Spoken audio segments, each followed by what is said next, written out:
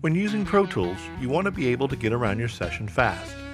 Using the Avid Pro Tools S3 dock and control app gives you the tools you need to create efficient workflows, allowing you to stay creative.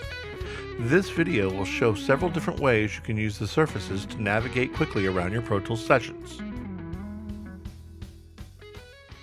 Using track colors to identify certain types of tracks in Pro Tools is a great visual tool for a quick overview of your session.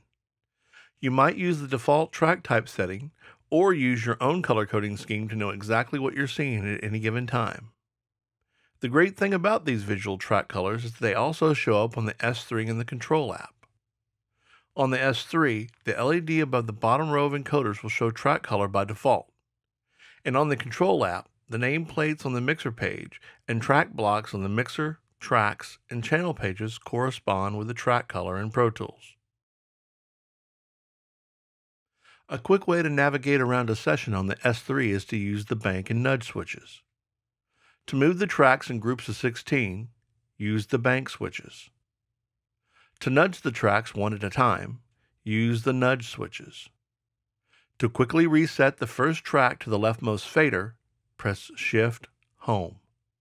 And to put the last track on the rightmost fader, press Shift End. The tracks page on the Control app shows up to 40 tracks at a time and can scroll to show any track in the session. There are several ways to see beyond the 40 channels on the screen. You can swipe up and down in the tracks area to scroll the page.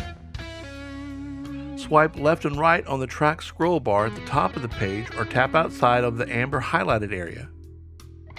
And with the dock, you can use the bank switches to bank by page and the nudge switches to nudge by row. You can also set up to bank the S3 just by selecting a track from the scroller in the app. To do this, just go to EuControl, Settings, General, and check Auto Bank to select a track. Now when you select a track from the app's track scroller, the S3 will bank that track to the first fader if it's not already on the surface.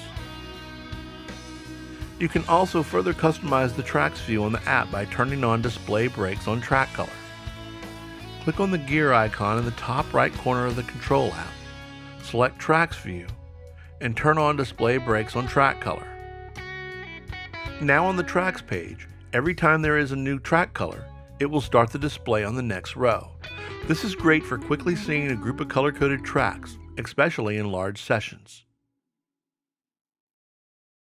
A quick way to navigate to a section of the timeline is to switch the dock's wheel mode to move selection.